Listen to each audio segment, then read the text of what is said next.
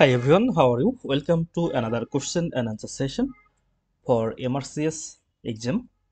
This is the question. A 22 years old man is shot in the groin on examination.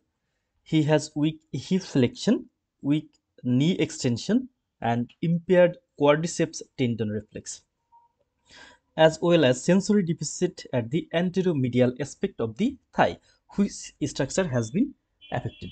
So first of all, we have to find out the key points of the question.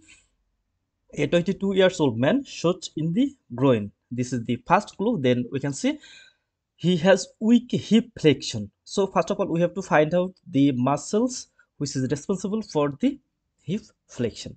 Then weak knee extension and impaired quadriceps tendon reflex and sensory deficit at the anteromedial aspect of the thigh so which structure is affected? So it is uh, a lot of clinical feature uh, here such as uh, weak hip flexion weak knee extension impaired quadriceps tendon reflex and sensory deficit at the anterior medial aspect of the thigh. So it is nerve damage. Actually uh, the different type of muscle weakness and also the sensory deficit. So it is caused by nerve damage. So here the options. Options are femoral nerve sciatic nerve superior gluteal nerve ilioinguinal nerve and genitofemoral nerve. So we have to find out one of the nerve which is responsible for all of the clinical features. So let's see. Here we can see two picture the first one here here we can see this is the thigh and this is the anterior aspect of the thigh. In the anterior aspect of the thigh uh, we can see in this picture there are different group of the muscle.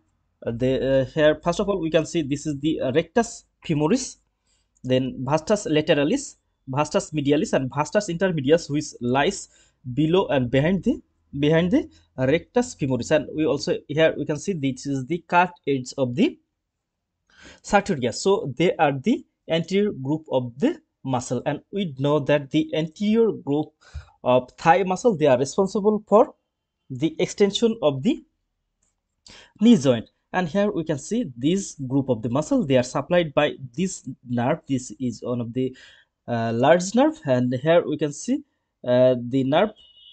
And we know the name of the nerve is femoral nerve. So the anterior compartment of the thigh muscles they are supplied by the femoral nerve and they are rectus femoris, vastus medialis, vastus lateralis and vastus intermedius. And also this is the sartorius. So now uh, here we can see the hip flexion. Here this is the hip joint we know and there is the two important muscle. One is the psoas major this muscle this is the psoas major muscle and here this is the iliacus muscle. So iliacus muscle and psoas major muscle they are responsible for the hip flexion. Here we can see and this hip flexion it is supplied by the femoral nerve. Uh, so here also the femoral nerve it supplies the uh, psoas major muscle and iliacus muscle. So these two important muscle they are the chief hip flexor and these two chief hip flexor is supplied by the femoral nerve. that here we can see this is the quadriceps reflex or patellar knee reflex. In this case,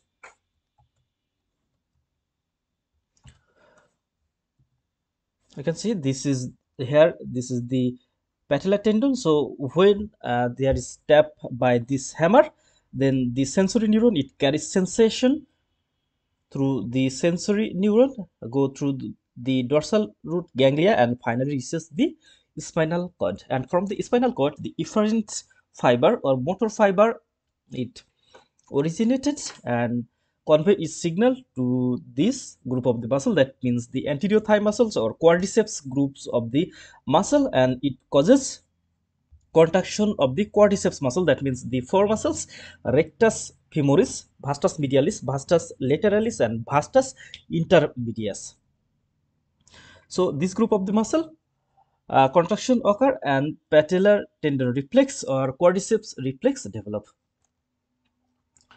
So our final answer is now ready. This is the femoral nerve because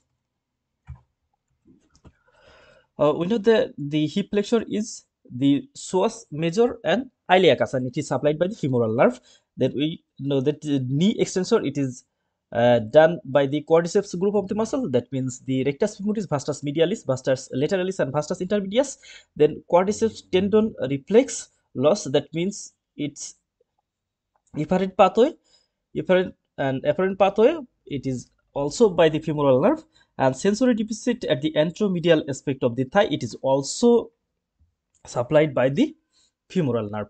So our final answer is femoral nerve. This femoral nerve is responsible for the deficits of all of the clinical feature in this question. Thank you all